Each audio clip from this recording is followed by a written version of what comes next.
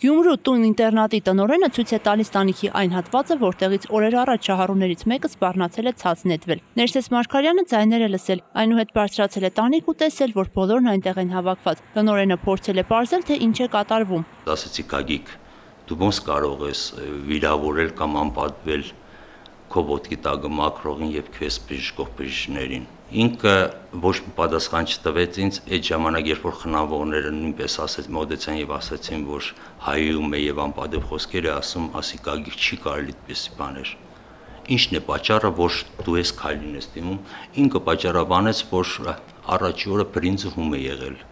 Ես ասացի կագիկ բրինձը հում լինելու համար կարելի է այսպես բաներ բարձրացնել։ Եթե բրինձը հում է եղել, դու ինձ մոտենայր ասել Երբ ամեն բան հանդարտվել է մոտ 10 րոպե հետո տնօրեն Ներսես Մարգարյանին զանգել են 911 ծառայությունից եւ ասել, որ տուն ինտերնատի տանիքին գտնվող շահառուներից մեկից կանչ են ստացել, ով սպառնացել է ինքնասպանություն գործել։ Դուրս են եկել եւ տեսել, որ Գագիկը նստել է նախամուտքի բազիրքին ու չի իջնում։ Տնօրենն անձամբ է կանչել ոստիկաններին ու կանխել են շահառուի հետագա գործողությունները։ Նման քայլի 54-ամյա Գագիկ Հովանեսյանն առաջին անգամը չէ որ թիմում է։ Նոյեմբերին մի անգամ նույնպես այդ քայլին է դիմել երբ մենք հարցրեցինք այդ ժամանակ ես փոխտնօրեն էի աշխատում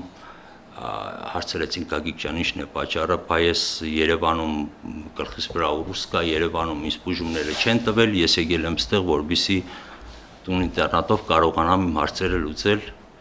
Տուն ինտերնատում Գագիկը 8 ամիս է բնակվում, պատմում են, որ 17 տարի նա կալանավայրում է եղել։ Ունի երկու երեխա, կնոջից բաժանված է, առողջական որոշակի խնդիրներ ունի։ Ունի ինքը գլխուղեղի կիստոսկոյացություն,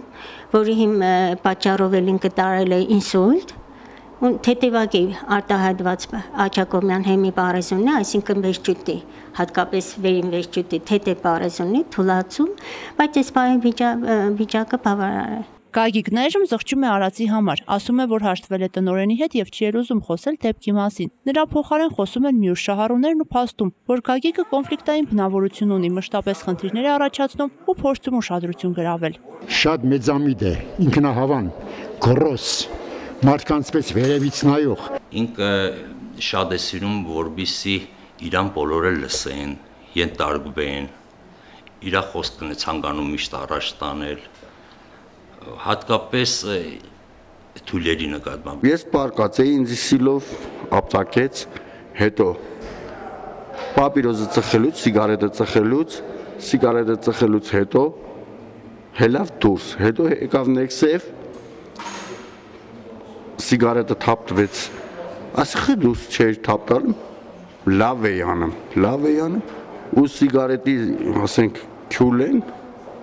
շփեցիմ երեսին։ Գագիկին դեռ երբեք ոչ ոք չի այցելել։ Ասում է շատերը չգիտեն իր գտնվելու վայրի մասին։ Իսկ թե ինչու է բարբերաբար նման քայլի դիմում, բացատրություն չունի։ Նազելի Էլբակյան, Խաչատուր Գևորքյան, Ազդարաշ։